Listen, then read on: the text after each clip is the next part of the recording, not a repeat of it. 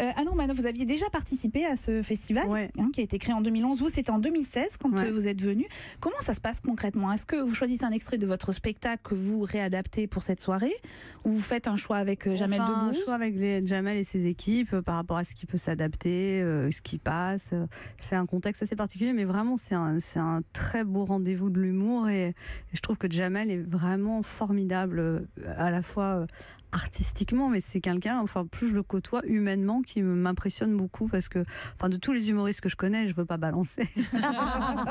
mais c'est de loin.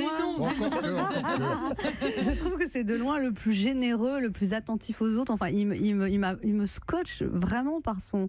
Parce que là, c'est pas du tout évident. Il y a, il y a, il y a je sais pas, il y a, qui en était 15, 20 Il y a un gros, humoristes. gros plateau. Oui, de voilà, il y a des gens connus, moins connus, euh, p- pas connus du tout, etc. Et il a la même gentillesse, attention avec tous et, avec l'équipe technique et avec et, c'est très très rare.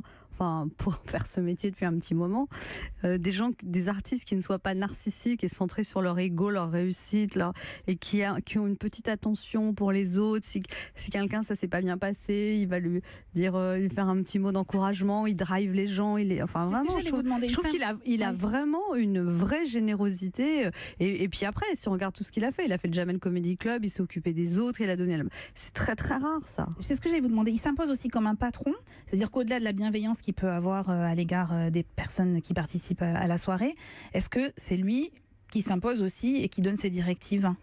Mais oui, mais il le fait d'une manière. Enfin, il a, il a toute une équipe autour de lui, donc il fait ça avec beaucoup de, je trouve, de délicatesse, de gentillesse, et, et voilà. Et puis on a accueilli vraiment, c'est magnifique. euh, Le, le palais Bagdadi, je sais pas comment s'appelle, Bagdadi, Badi, c'est ouais. magnifique comme Ouais. endroit. C'est vraiment, euh, c'est un très très bel endroit, et on est, on est accueillis comme des rois. Enfin, c'est, c'est, c'est, c'est, c'est un très beau festival. Quoi.